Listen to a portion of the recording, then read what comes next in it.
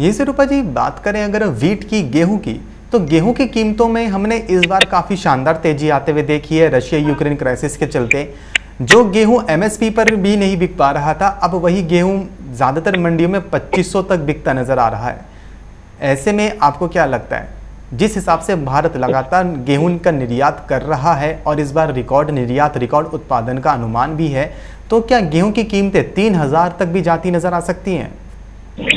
देखिए अभी फ़िलहाल जो है एक्सपोर्ट डिमांड ग्लोबल अनसर्टिनिटी के चलते एक्सपेक्टेड है कि हम्म। बढ़ सकती है और उसकी वजह से कीमतों को एक सपोर्ट मिल सकता है।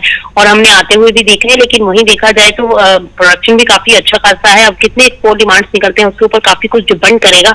अगर एक्सपोर्ट पिकअप होते हैं तो डेफिनेटली कीमतों के ऊपर एक अपसाइड मोमेंटम बनता हुआ दिखाई दे सकता है। जी।